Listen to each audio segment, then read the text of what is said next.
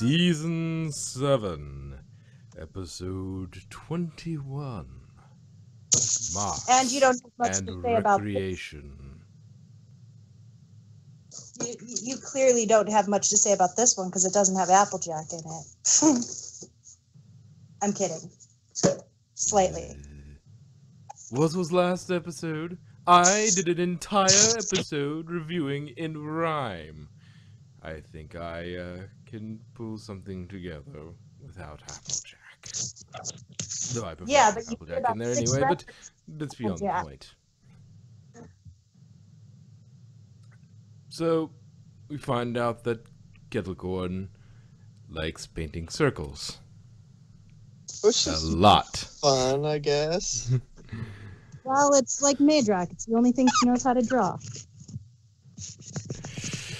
Ouch. Anyway, so the one-on-one cutie mark advising isn't very efficient as they are doing it one foal at a time. And they think helping a whole herd of them at once would be much more effective, and the foals could help one another. Mm, Yeah, but luck keeping them in check. Well, they're all the same age, so I mean, and it's really go have fun is essentially the instruction. So it's not that uh it's not that hard to wrangle, I would think, with that sort of level of restriction, which is almost nil. Uh one thing this episode that I found interesting was they keep tossing around the term blank flank. I thought that was a derogatory word for the cutie markless. Perhaps the tone in which it is delivered determines the level of inf- offense uh, intended. Yeah, it seems that way. Yes. Well, I mean, like um, certain cultural terms. Like if you listen to in South Park, um, Cartman's always like, "You Jew," insultingly, but Jew is also just a term for a Jewish person. It's all about the tone and how it's used. Yeah, I'm assuming that's what they're going with here, because we really only ever heard it being used by Diamond Tiara and her mother, and both of them used it in a derogatory manner for most of the times. Um, anyway, um, so instead they decide to hold a cutie mark day camp at Camp Friendship, which was the same camp Applejack went to.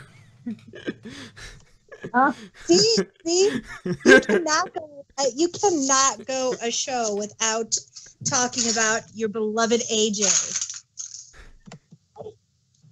But, But is it is it false? Did I did I make a false I statement know, there? I know. She's, I know she's the most penultimate background pony there is, but still.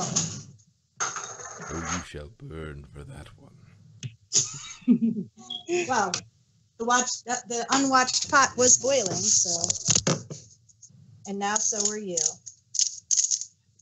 Anyway, uh, the cutie mark camp was what they were trying to set up in Fame and Misfortune. Continuity, I suppose, which brings up interesting timing issues. But anyway, um, so Rumble crumbles up a flyer the Crusaders give him as his brother Thunderlane approaches. Thunderlane straightens the paper and gets an idea. He tricks Rumble into going to the camp, which he clearly doesn't want to go to. And Thunderlane is apparently a Wonderbolt now. And the Bolts are preparing for a show in Ponyville. I mean, they did somewhat set it up. I mean, he was part of the reserve. So Yeah. we expected that Dash would be called first, and she was. And now afterwards, they're having to, you know, it's like Dash was obvious. It's like we're just looking for a hole to slot her in. We're just waiting for somebody to leave so we can put her in. We just need a slot open. And, you know, I guess another slot came open. And they're like, mm, uh, Dash was easy. Uh, Thunderlane? Okay. Yeah, maybe Um, they just, you know, they needed a. Maybe it was just a reserves thing. The reserves are up. They wanted to do a larger maybe formation. Ravenous got fired and we don't know about it yet. I, I doubt that. Maybe they perhaps was they wanted a, a somebody for, she was eaten because somebody forgot a comma. uh anyway. So Rumble feels a little overshadowed by his brother as the rest of the foals ooh and ah at him. Uh, a filly behind him whispers about there being no way he'd be as good as his brother at the horseshoe toss. You know, Thunderlane hit it on the first go, and he subsequently intentionally fails at it. He also intentionally throws the game at kayaking, run by Scootaloo, archery, run by Sweetie Belle, dancing, run by Apple and intentionally snaps his pencil at the haiku writing and says the camp simply isn't for him. He's tried everything and he's all out of ideas. um, Skeedaddle shows Kettlecorn haiku, and she gets her mark in it. And then we get an interesting little exchange. Um, for continuity, uh, Sweetbell says, trying to find out what we're meant to do can be frustrating. You remember how long it took us to get our cutie marks? And Apple Bloom says, I remember the nightmares. So a nice little nod to Bloom and Gloom. Yep. We literally saw her nightmares. um, Oh yeah. Yeah. So they go to reassure Rumble, who is watching his brother practice, that they will try harder tomorrow to find something for him, and that they understand his frustration. He shows frustration, frustration at them, but denies it. He then utters blasphemy to their shock. He doesn't want a mark. Dun dun dun. Ah, cutie marks are overgraded. Uh, Rumble pulls out the armor piercing criticism of the marks that they limit what you are going to do for the rest of your life. It's been a long time since Avalon did anything other than what her mark relates to, including making potions with Zecora. So, deciding they can't do anything for Rumble, they decide to focus on the ponies that do want their help. Turns Well, out you can't help the ones who don't want help. Turns out flying like his big brother is his passion, as we see him going through cloud hoops of his own design. Which is a weird thing. He was having his own little fantasy, you know, the best flyer in Equestria, and Thunderlane jumps out in front and says, Thunderlane! To complete the sentence. It's like, really? You're being a bit of a jerk there, Thunderlane. the kid's obviously having his own little fantasy thing. You know, wait till he finishes and, and, and you know, don't insert yourself there. It's just kind of a, a jerk move there. Yeah. Um, and he feels overshadowed by his brother again. I again. mean, and I would totally do that. We you're know, also but a you're jerk. he feels overshadowed by his brother again, and after he says he should go back well, to the I, camp, I mean, that cloud could have hurt him. it's a cloud. They're Pegasi. they kick these things into oblivion. You don't and take naps on them. What? And take naps on them. Yes, I, I, I don't think you know, I don't think it would be dangerous for him to interact with a cloud. Um, and after Unless he says a- he, Something dangerous behind the cloud. I don't think there was, and considering how thin the clouds were, cloud rings were, I don't think you could hide anything much there.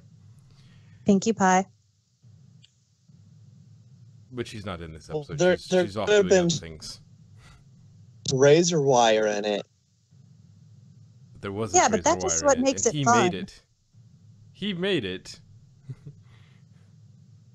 anyway, uh, overshadowed by his brother again, and after he says he should go back to the camp, says that he can't be a blank flank forever. This gives Rumble an idea, an awful idea, a wonderfully awful idea. Well, it is so easy being evil. Uh, the devil tips his hat to me. Uh, anyway, uh, so Scootaloo, s- s- you don't get a cutie mark just because you're good at something or even because you like it. There's more to it than that. Well, usually the mark ends up coming from uh, something of a Venn diagram of what you're good at and what you enjoy is generally what it tends to come out of. And uh, Old Ponish is another language to add to Yeah, the language let's list. hope nobody, no pony gets uh, A murderous cutie mark. Pony get cutie mark of a sacrificial dagger. Athame? Anyway, uh, Old Ponish is another language to add to the language list with fancy. I guess what modern, what they're speaking in Equestria now is n- New Ponish or Modern Ponish. Because it could be Equestrian, but I'm curious. So, the song basically reprises his argument that they are, the cutie marks are limiting. And at a curious moment, the background singers are making the motion for snapping, but that wouldn't really work for equines, would it? They have no fingers, usually. Yeah, well, I equines do a lot of stuff that doesn't make sense. True. I mean, they do hold things with their hooves. Yes, but snapping. Anyway, um, so he decides to start his own camp with blank flanks and doing nothing. The group joins Rumble. So basically, you know, they're they're basically doing the same things that they were doing on the other side of the line that he draws in the middle of camp, just on the other line, other side of the camp. Um, uh, Sweetie Belle urges them to remain calm and talk things out. But she's the first to get her dander up when confronting Rumble. Our cutie marks. Special box. Special box. Um. So Skeedaddle I- I- discover. Go ahead. I, I like the fact that she's makes a haiku as she's saying, you know, she like talking about she doesn't want her um, cutie mark because it means she'll only do haikus forever. Like, that was a haiku, and that just makes me wonder: is it not a zebra thing, but just part of her cutie mark talent that causes Zecora to speak all in rhyme? well, we've never met another zebra, so we don't know. It could be a cultural thing. It could be just Zecora. We don't know. We don't have enough evidence. and do zebras really have cutie marks? I think they kind of. It's that sun thing Zecora she's got on hers. I think that's what. Yeah, but I, I cutie kind of mark figured that is. was just no, her normal zebra pattern. I don't. Um, I don't think that's how zebra looks patterns like- work. yeah. no, I mean like she was born with it. She didn't get it later in her life. I, I think it. I think it is a cutie I'm mark pretty of sure some it's cutie mark.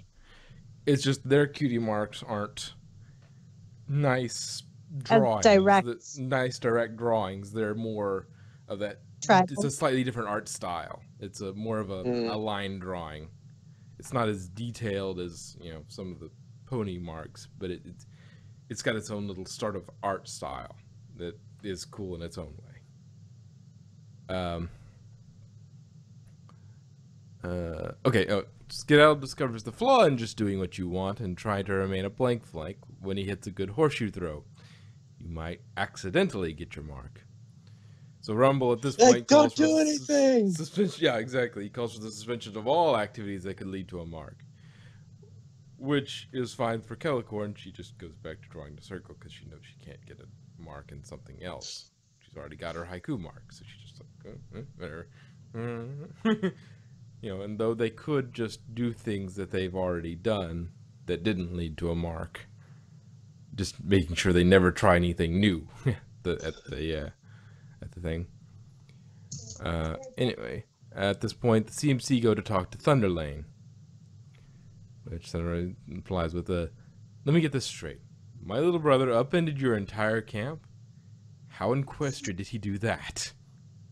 Well, um, Well, here, Sweetie Belle says, well, she inhales and goes motor mouth started when he couldn't toss a horseshoe or paddle a kayak or shoot an arrow or use a pencil. And he felt bad when he wasn't good at anything. But now he doesn't want a cutie mark at all because he's afraid he'll get stuck doing something he doesn't like forever, you know?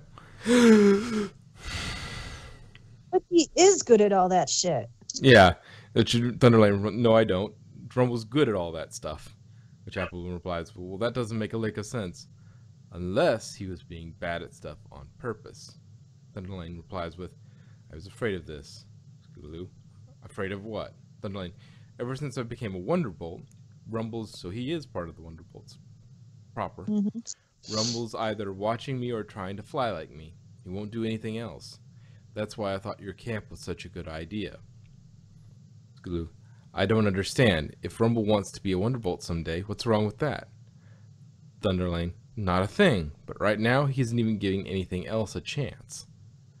Which Apple Bloom replies, sounds to me like Rumble isn't afraid of being put in a box at all. Sweetie Yeah, Belle? he won't even take a bath. He'll be afraid of like cutie mark marking that. Sweetie Belle, it doesn't. Apple Bloom. That's what that smell is. Apple Bloom. Nope, I think Grumble's already picked, picked out a box. He's afraid he'll get a cutie mark that'll keep him from it. So at this point, the group slowly abandons Rumble as the CMC have invited Thunderlane. Thunderlane does lots of different activities with the foals. Rumble holds out until there's a Wonderbolt style obstacle course. Moved to the ground for the Earthbound types, of course. Which, uh, Applejack could do quite well, I would think. um, Thunderlane doesn't run the course, but instead cooks with a big black cauldron. Turns out he likes cooking, but didn't realize until he had to take his turn cooking at Bolt's at HQ. He's more than just his mark. Rumble has a change of heart and know he's good knows he's good at flying. He's he's willing to see what else he's good at. And that's the episode. We don't actually ever see him get his mark. But he is well on his road. Yeah, but I mean, it took the CMC like Yeah. three years to get theirs. Yeah. Well, it's you know, you some sometimes with these sorts of episodes, they will just go, you know what? you know, as soon as they stop trying to, you know, avoid it or get around it or something like it just like slots into place usually. That's what they usually do with these sorts of episodes, but they left it kind of open and, and said, okay, well, we don't know quite what Rumble's going to do, but at least he's headed in the right direction this time. And he's going to try stuff that uh, maybe he didn't think he would like. Yeah. uh, you know, which this brings out a lot of, you know, this is going to bring out all the anal- analysis bronies with the, uh, what exactly are cutie marks and what, uh, what, you know, what are all the rules around it? We don't know, you know. Is it something you're good at? Is it something you like? Is it, you know, is it something of a, the the two? I tend, to think it's a little bit of both, um, because the destiny, whatever whatever machinations of the divine bestow the cutie marks, you know, they probably say, okay, well, you're going to be good at this, and you're going to like this so we'll give you this mark. You know, you may not understand at first that you like this, but over time you will grow to love it, and that will be most satisfying destiny for you.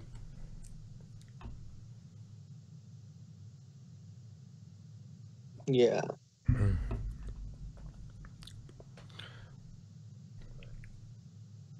Yeah, but that's about all I have in terms of notes. Well, if they really wanted all the uh, blank things to come back, all they had to do was uh, get Diamond Tiara to start making fun of them. But she's done her heel face turn. She's good now. She can't do that. Yeah, I, I, I think she can still be a little bit mean sometimes. I doubt it. I mean, as as important as that episode was, and we really haven't seen her be mean since.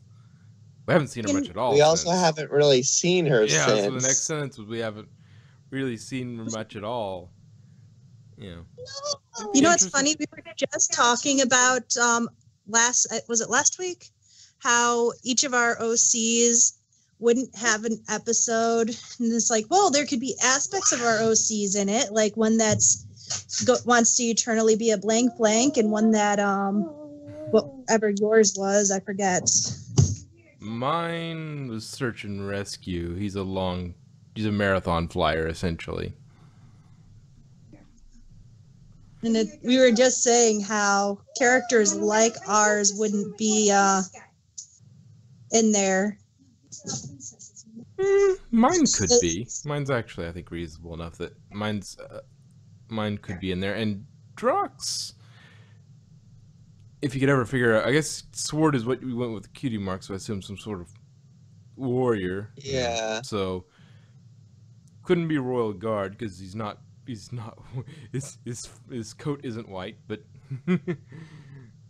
Hey, I mean, um, if you look at uh, Flash Sentry, Yeah, but he's also a crystal guard. I suppose if he was in the Crystal Empire, he could be it. But it seems like in the uh, the uh, the Royal Guard, the daytime Royal Guard, there's one color to be. Though again, maybe the armor in the Royal Guard also gives you a dye job, just like in uh, Pun Pony. yeah, I mean, it does make sense because otherwise, that is one really racist royal guard. is you must be you must have white fur in order to be in the royal guard this guy's obviously you know incredible an incredible warrior Because he's, white. blue we can't have blue. Go away. Talk about white supremacy. actual white um, but uh, yeah.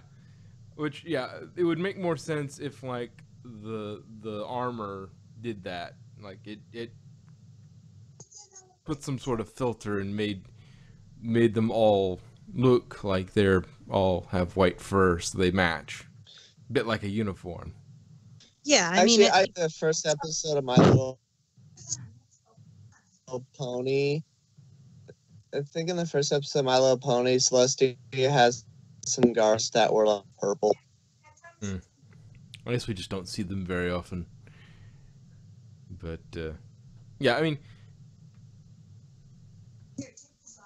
though we've never seen anything from like mine before, and Drox would be fairly common. I don't know exactly what his occupation would be.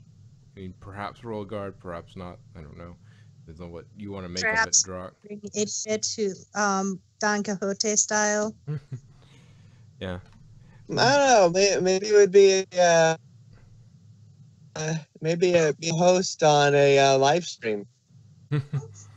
With swords is a cutie mark. Yeah, I, Jack agrees with the no. With swords is a cutie mark.